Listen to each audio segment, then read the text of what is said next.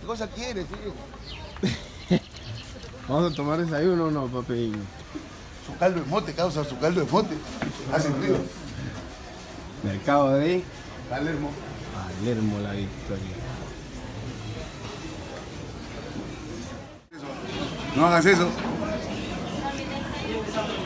¿Qué estás comiendo? Caldo de mote, pero es lo máximo. ¿Y esto qué es? Ese es este, el animal que pagó cuatro para que me lo dieran a mí.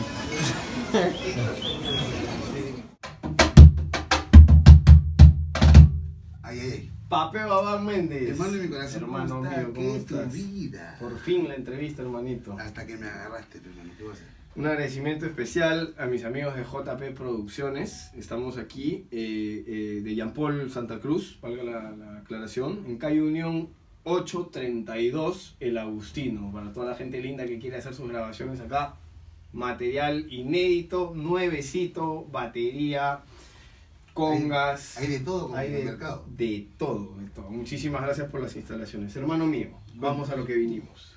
Generales de ley, señor. Cuéntame. Dígame su nombre completo. Uy, mi nombre es Aldo Eduardo Abán Méndez. Perfecto. ¿Cómo te llaman? ¿Cómo te dicen tu chapulín? Ah, todos, todos me conocen por papeo. Aquí que me diga mi nombre no le voy a hacer caso porque realmente vengo con ese apodo hace 500 años. ¿En qué ciudad naciste? Yo soy limeño y victoriano de corazón. Exacto. ¿En qué fecha, hermano? Nací un 12 de febrero de 1976, nació un grande y robusto negrito. A ver, entonces, los recuerdos del barrio. Algunos primarios recuerdos que tengan por ahí. Bueno, son, son muchos, muchos. Eh, recuerdo las fiestas de carnavales, la peña que había ahí en Renovación, viví en Renovación toda mi vida. Entre García Naranjo y Renovación estaba la popular Peña de la Madera. Qué bonitos recuerdos. Escuchar a los buenos cantores, buenos viejos cantores. Claro. Tú estás muy apegado a lo que viene a ser la movida tradicional del criollismo, es decir, la, la recta tradicional, ¿no? Y siempre te he visto por esos lares. Es que nací y crecí dentro de, de- de- de esa, costumbre. ¿no? Mi papá era un bohemio, criollo, y todos los domingos había reunión en mi casa. Todos los domingos. O si no era en mi casa, era en la Peña de la Madera. Escuchar a Mano Corda, a Víctor Espinosa, escuchar a Chavo Velázquez tocando guitarra. Claro, sí. Una cosa impresionante. Entonces, en esa línea me vas a decir tus influencias musicales. Influencias musicales. En realidad es una influencia familiar. Sí. Familiar porque mi papá, mi abuelo tocaban la guitarra. Mi tío José, hermano de mi papá, tocaba el cajón. Y mi tío Jorge, el hermano de mi papá, tocaba castañuela. Ah, Entonces tenía todo dentro de casa como para poder nutrirme de todo eso. claro. y escucharlos a ellos ya todos los días prácticamente, porque mi papá eh, era socio del Centro Musical Victoria, e íbamos todos los días, y todos los días tocábamos, todos los días cantábamos, entonces eso lo absorbí desde que tengo uso de razón. Bueno, y prácticamente toda tu familia tiene arte, ¿no? Por Sí. donde vayas. Sí, exacto, tengo, tengo toda la familia, gracias a Dios, sumergida en este, en este mundo, ¿no? ¿Tu intérprete de la música criolla favorita o favorito? Bueno, en primer lugar es mi papá. Claro que sí. Mi papá tenía una forma de canto muy bonita, pero también eh, fui muy, muy atento al canto de Arturo Cabero, Eh, su forma de fraseo, eh, la forma, la, la movida que le daba al tema, eh, eh, me hacía, me hacía de, este, de gustar mucho de, de- de su forma de canto. ¿no? Qué lindo, qué lindo. Cuéntame, material discográfico, sé que tienes bastante. Uf. Gracias a Dios he podido participar en varios, eh, en varios eh, discos como músico, percusionista. Después participé eh, en dos discos como cantante y percusionista.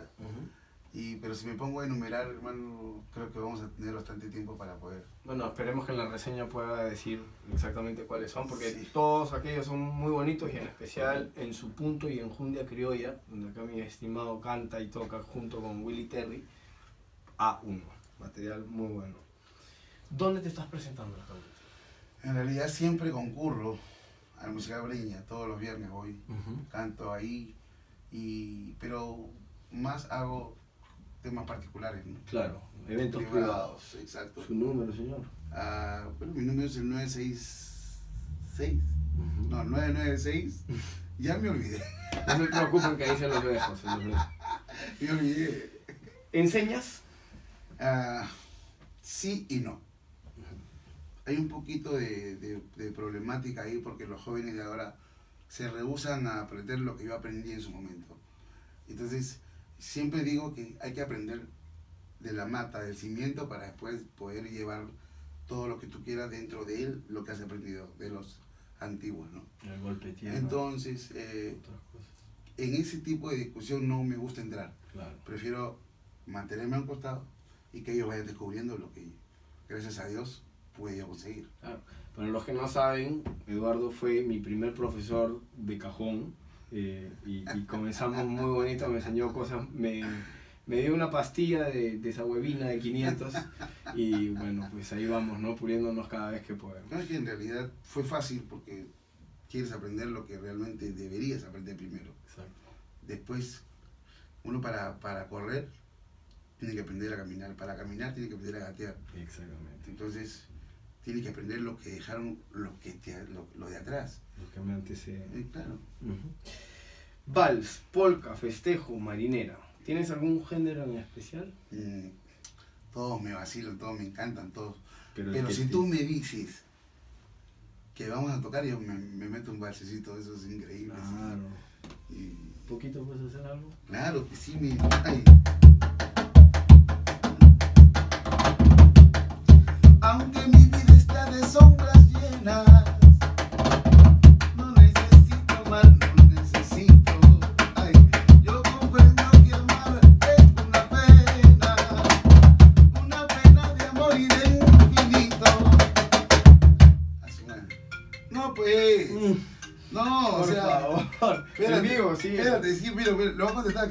Vamos a ver me deben, es. ¿eh? ¿Quién? Hello. ¿Aló? Vida, sí, ya, ya, ya me di cuenta. Mi amor, estoy en plena entrevista. Muchas gracias. Sí, mi amor, de todas maneras. Por si acaso mi mujercita, la amo, la adoro. Cualquier cosa, me avisan a mí. Ya, Eso se amor. edita, eso se va a editar. Ah, ah, ya, mi amor, a las 7 te recojo.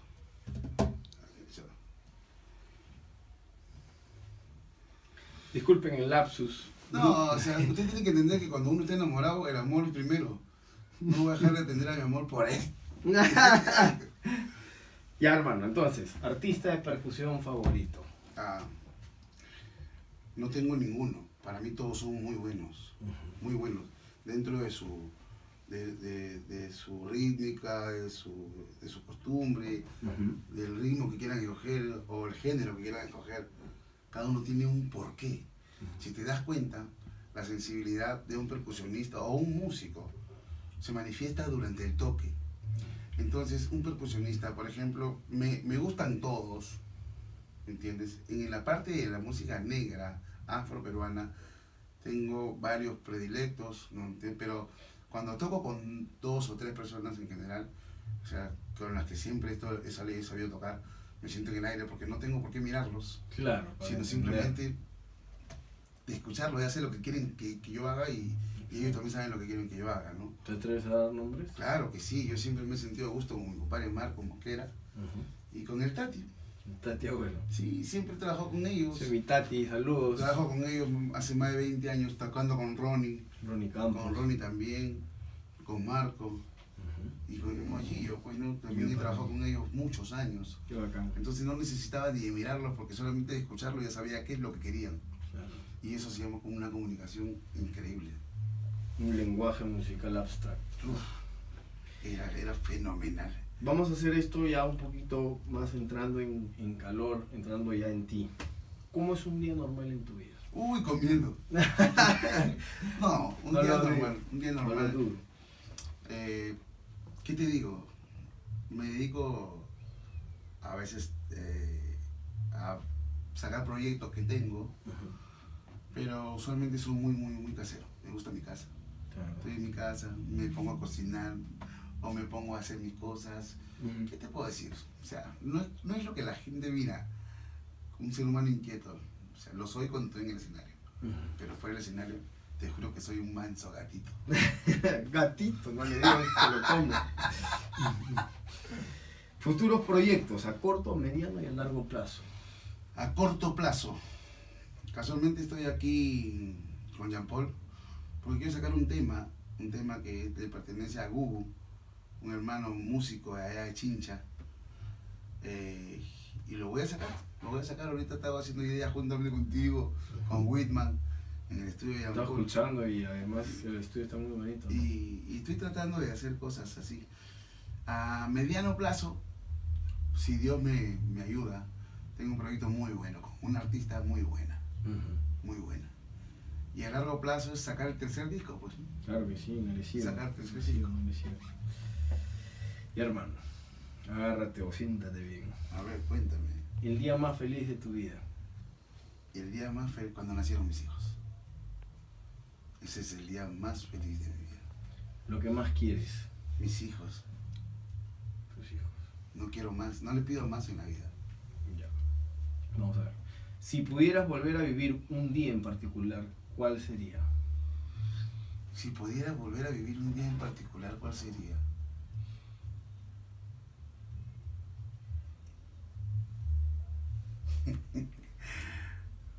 Retroceder el tiempo y estar con mi papá, mi mamá y mis hermanos dentro de una casa.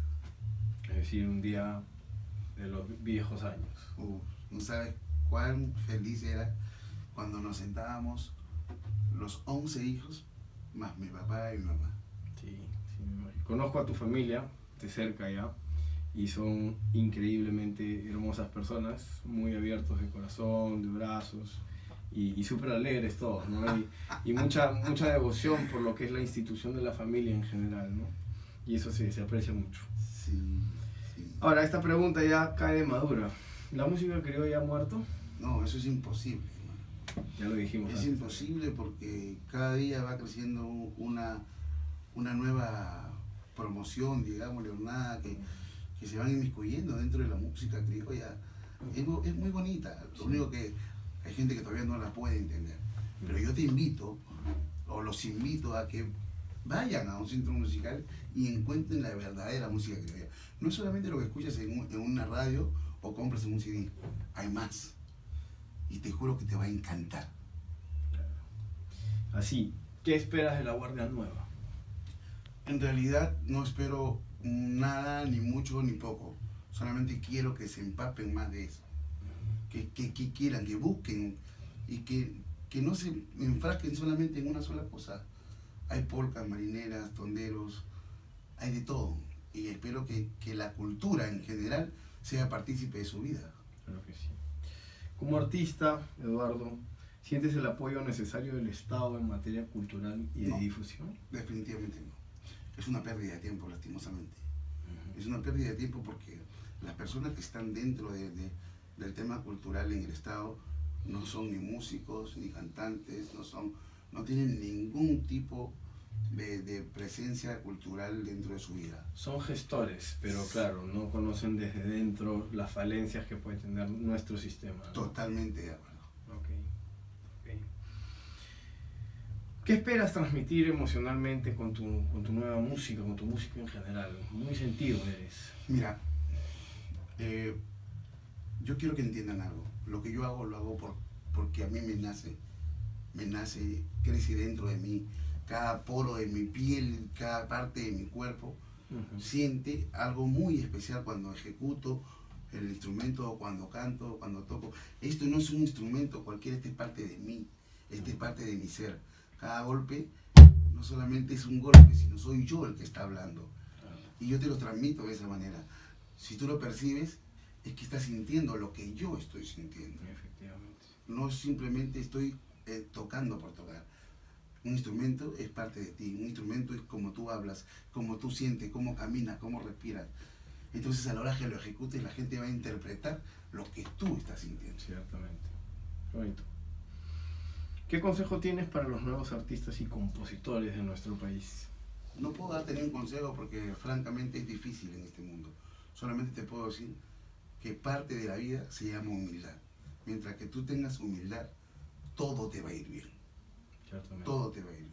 Porque sin humildad, al final de cuentas la gente, este mundo es tan efímero que la gente te da la espalda y desapareciste. Exacto. Aquí el mundo se trabaja con humildad. La presencia del artista simplemente se llama humildad. Exacto, y de un tiempo a esta parte creo que hemos podido apreciar juntos que, que, que la música creo ella viene, viene tomando bastante cuerpo. ¿no? Por supuesto. Viene tomando bastante cuerpo y justamente ahí es donde tiene que entrar a tallar la humildad esa necesaria que necesitamos todos, de donde vengamos, de donde seamos, etcétera, etcétera. Hay gente que está haciendo muy buenas cosas. eh, si los nombro, pucha, sería inacabable. Y, y nada, de la mano de, de- de nuestros guías, ¿no? De los maestros, pues adelante, ¿no? Con humildad todo se Pero, puede. no, o sea, quiero, quiero eh, poner bien claro que no soy ni un, maestro, no soy ni un guía, solamente soy un ser humano que quiere compartir la misma sensación que, sien- que siento yo contigo, con Whitman, con Jean Paul, porque en realidad, si no transmito lo que yo siento, me voy a morir y me voy a llevar lo que yo tengo. Y yo creo que nadie, nadie en este mundo debe quedarse sin buscar un poco de cultura, propia cultura. Desde que viene la música foránea, los jóvenes ahora no conocen la cultura del Mm. país.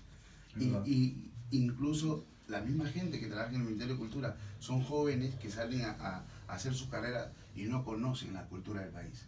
Siendo serrano, criollo o, o- o charapa, como quieras denominarle, cada región tiene su propia cultura y no la conocen. Y eso es una pena increíble. Efectivamente, así lo es. La última pregunta, Eduardo. Un escenario perfecto para ti. Escenario en el sentido, ya sabes, no material, sino un escenario de tu vida.